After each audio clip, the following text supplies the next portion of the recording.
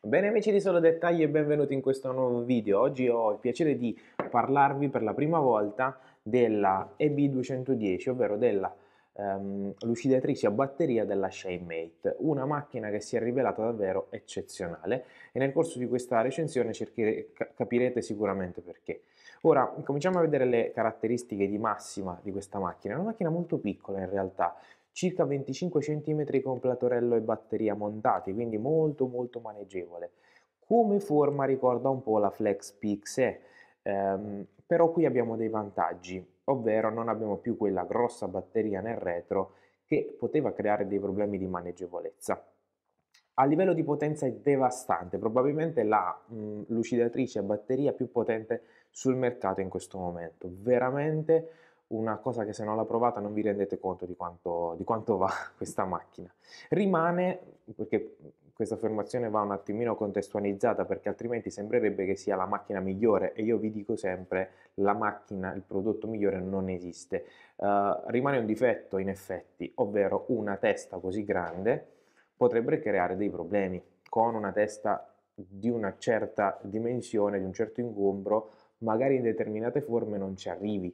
Uh, quindi io starei molto attento a dire che è la migliore. Per esempio, se noi la confrontiamo con una Rupes, guardate che differenza c'è di testa.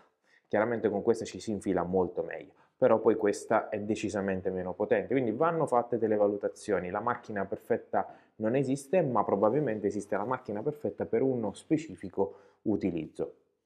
Torniamo a noi, quindi tecnologia brushless senza spazzole, questo vuol dire meno manutenzione, più potenza, più efficienza, meno consumo della, di batteria e vi posso dire che la batteria mi ha stupito. Si può usare quasi in continuo. Uh, cosa intendo? Diciamo che io ci ho fatto svariate prove, ce l'ho questa qui da circa 4 mesi e vi posso dire che si può utilizzare quasi con, continuamente, ovviamente contemplando un cambio continuo di batteria, se non per un piccolo problema. Allora, quando usi la macchina ad una certa potenza, quindi al massimo, le batterie essendo agli ioni di litio si scaldano e il, batteri, il, um, il caricabatterie che all'interno uh, ha chiaramente un, un, BMS, un Battery Management System, ovvero un cervelletto che controlla le batterie, si rende conto, se la batteria è molto calda, che non è il caso di caricarla perché potrebbe andare a fuoco. Qui stiamo sempre parlando di batterie a ioni di litio che quindi hanno una certa pericolosità e quindi vanno gestite in una determinata maniera. Ecco perché abbiamo dei caricabatterie particolari anche voluminosi, perché all'interno c'è anche l'elettronica che controlla tutto questo.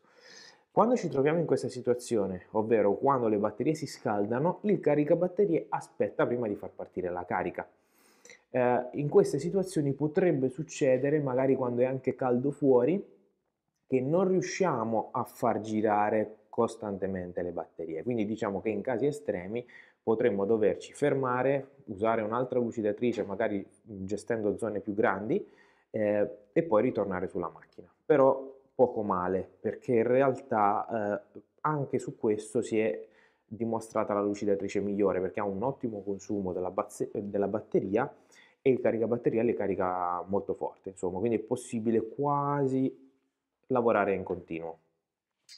Uh, guardiamo anche un attimino le caratteristiche estetiche e, e, e, di ergonomia. Allora, sul retro della macchina, quindi quello che noi ci troviamo frontalmente quando la guardiamo, c'è una sorta di display che eh, ha il tasto di accensione, noi teniamo premuto per 3-4 secondi, eh, la macchina si accende e ci mostra sia lo stato della batteria attraverso il primo LED, sia attraverso gli altri tre LED a che velocità stiamo andando.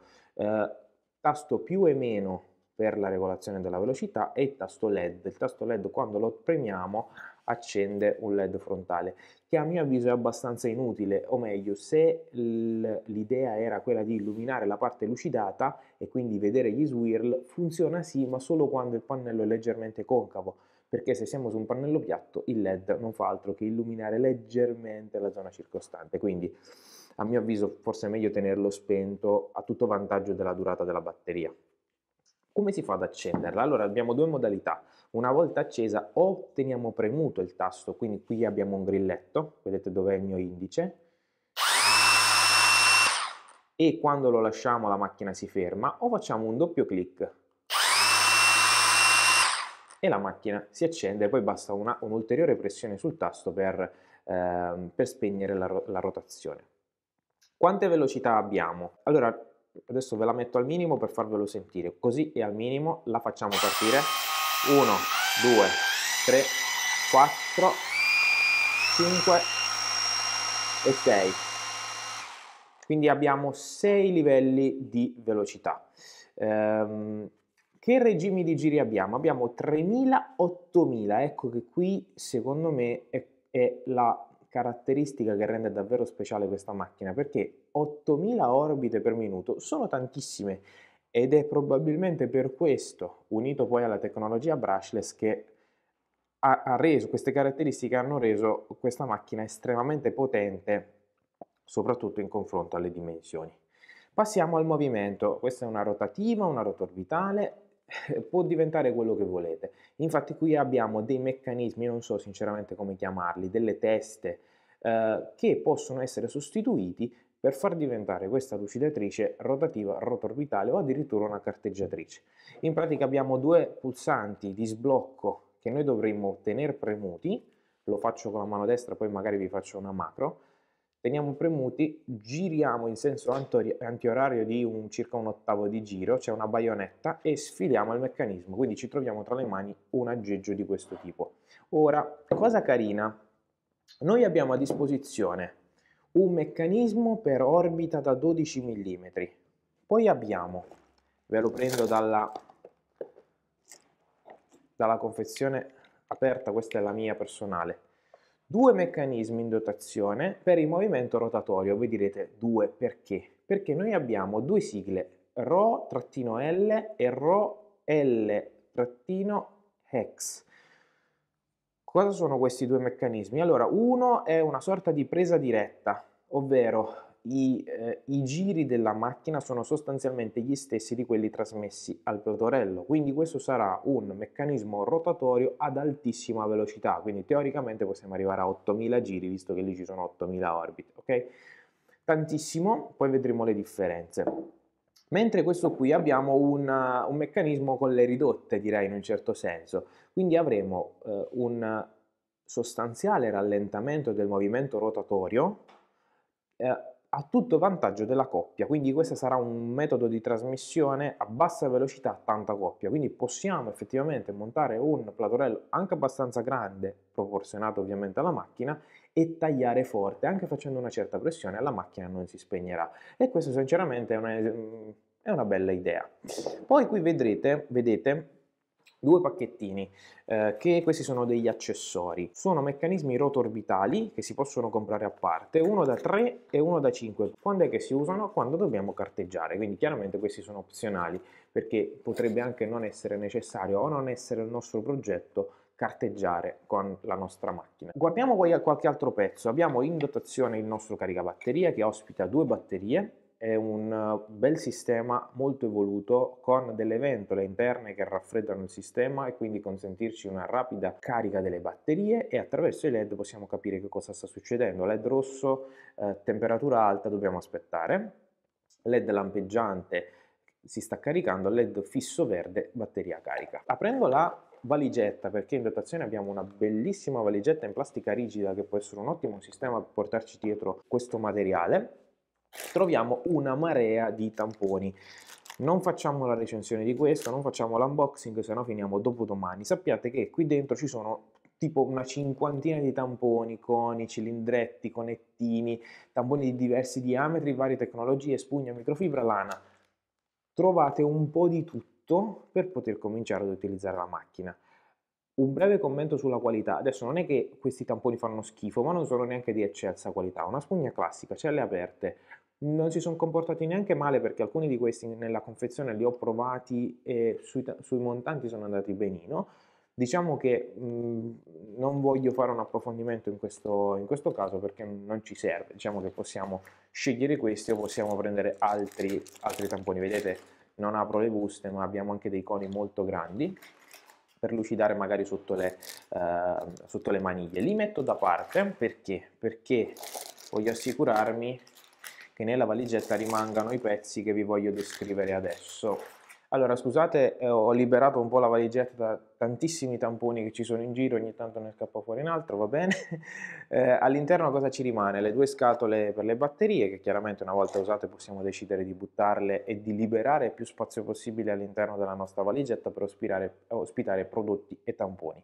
Eh, prendiamo questa chiave, che questa è una chiave a mio avviso fondamentale, per farvi vedere una cosa, e questa è un'altra sciccheria di questa macchina. Allora, ad ogni meccanismo possiamo associare un determinato numero di platorelli. Come? Allora, mm, cercherò di farvelo vedere, anche se in realtà questa è una cosa che se non la vedi di persona non la capisci. Anche il platorello si fissa al meccanismo che sia rotativo o rotorbitale per mezzo di una sorta di baionetta. Quindi che cosa facciamo? Noi dobbiamo premere il, um, il platorello dentro il meccanismo e fare circa mezzo giro. Questo, in questo modo il platorello rimarrà solidale e non si sviterà rispetto al, al meccanismo.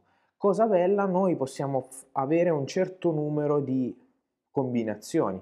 Per esempio, adesso prendo il meccanismo rotorbitale da 12 mm, ci metto la chiave dentro solo per bloccare la rotazione, perché non essendo rotativo non lo potrei bloccare, faccio il mezzo giro ed ecco che il mio platorello si sgancia.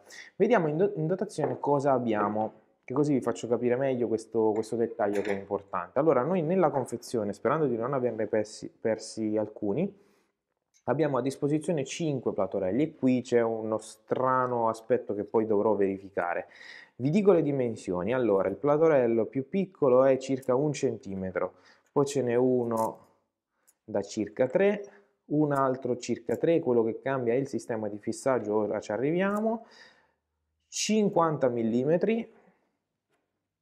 e 63 mm. Allora, io posso montare alcuni platorelli, quelli con la baionetta, sui, sui meccanismi che ospitano la baionetta. So che è un po' è difficile da spiegarlo a parole, ma capirete velocemente perché esiste questo, questa discriminante, perché alcuni platorelli sono fatti in un modo e altri no, perché in sostanza noi sul meccanismo rotatorio eh, ad alta velocità abbiamo poca coppia, non ci possiamo mettere i platorelli grossi perché farebbe troppo attrito, troppo sforzo, la macchina si ferma. E infatti noi il platorello grande, quello destinato ai tamponi da 75 mm, non lo possiamo montare. Perché? Perché a differenza degli altri che hanno questo meccanismo, lo vedete in alluminio, che ospita questa, questo fissaggio a baionetta, qui abbiamo un semplice filetto che cosa vuol dire? Che noi praticamente possiamo montare solo alcuni tipi, tipi, di platorelli, quelli che ospitano il filetto. Per esempio in questo caso il platorello da 3 pollici, posso montarlo semplicemente avvitandolo e vado tranquillo. Cosa bella, in dotazione noi troviamo anche delle prolunghe.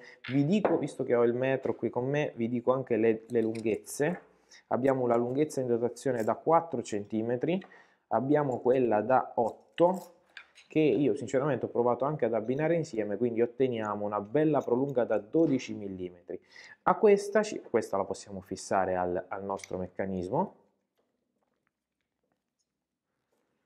Vi faccio vedere anche fissato la macchina. Per fissarla dobbiamo trovare il punto giusto indicato dalla freccia. Premiamo le, le alette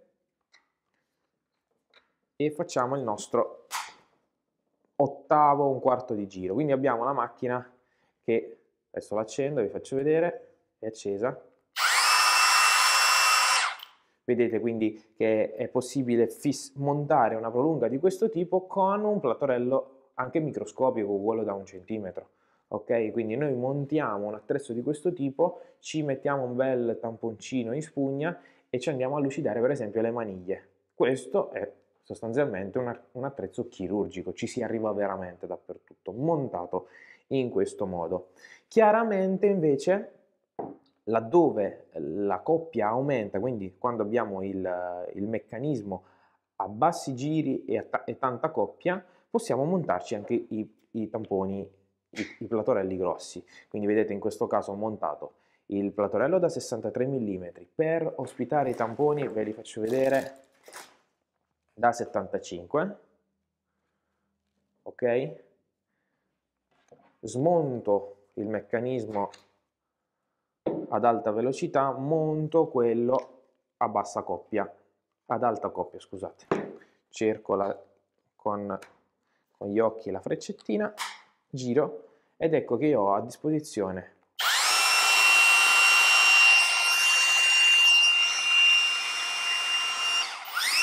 una macchina che è una rotativa, ha tantissima forza, eh, anche se ha un regime di giri inferiore. Penso di aver detto tutto ragazzi, eh, altri attrezzi, ci sono altre, altre chiavi che al momento non ho utilizzato, la caratteristica che rende speciale questa macchina a mio avviso è la potenza, pur avendole avute tutte, come sapete, tutte quelle sul mercato eh, in mano, questa mi ha scioccato, ci ho fatto praticamente una macchina intera, cambiando costantemente le batterie, ha fatto fuori tanti tamponi nel senso che l'ho stressata tanto e li ha polverizzati, ma lei non ha fatto una piega, non ha mostrato surriscaldamenti, ho lavorato con una temperatura esterna in, quel, in quei giorni di 22-23 gradi, non temperature proprio estive, però la macchina non ha mostrato il minimo segno di cedimento. Semmai eh, sono andate un pochino sotto sforzo le batterie che si sono leggermente scaldate, il caricabatterie se ne accorgeva e quindi doveva aspettare un tot di minuti che la temperatura si abbassasse. Uh, ma non lo considererei sinceramente un difetto perché è una cosa ovvia e si può verificare in tantissimi dispositivi, tantissime eh, lucidatrici. Quindi opinione estremamente positiva riguardo questa macchina, avrà un costo non bassissimo perché abbiamo a disposizione un kit molto completo. La macchina è prestazionale, si adatta a tantissime circostanze, quindi considerando i tre meccanismi in dotazione è una macchina che ci potete fare di tutto, lucidatura, ci vedrei bene la lucidatura dei fanali, la lucidatura delle motociclette, insomma ci facciamo tantissime cose, quindi anche se il prezzo non sarà bassissimo, sarà comunque concorrenziale sul mercato e sicuramente sarà un prodotto da acquistare. Se non ho risposto ad alcuni vostri dubbi, non esitate a farmi delle domande qui sotto nei commenti, sarò a vostra disposizione per soddisfare la vostra curiosità. Grazie della visione e arrivederci al prossimo video.